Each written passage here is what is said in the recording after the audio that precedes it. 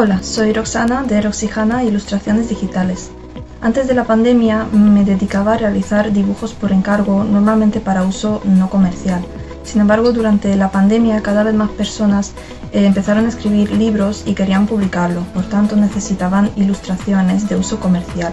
Aproveché esta oportunidad para reiniciar mi negocio y no solo para centrarme en estos nuevos clientes, sino para desarrollar mis propios proyectos con el fin de publicarlos. ¿Y tú, reinicias?